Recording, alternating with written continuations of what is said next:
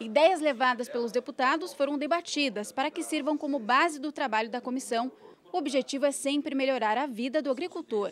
O nosso objetivo, o nosso foco é o homem do campo. Ele precisa de ter mais valorização, desde a melhoria das suas estradas, melhoria da sua energia elétrica, ter é, a internet, ter telefone celular, enfim. O jovem produtor rural, ele só fica no campo se ele tiver as mesmas facilidades que tem o homem da cidade. Então, por que, que o governo não, vai, não, não pode criar programas nessa direção para que nós possamos fixar esse nosso jovem também no campo, porque é uma excelente alternativa de renda à vida na agricultura. O deputado Gabriel Ribeiro, do PSD, solicitou a realização de uma audiência pública em Lages sobre o ataque de javalis às lavouras da região serrana.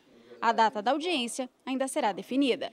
Hoje, esse animal está atacando as lavouras, afetando diretamente a produção rural em Santa Catarina, trazendo um prejuízo econômico muito grande para as famílias que sobrevivem do campo.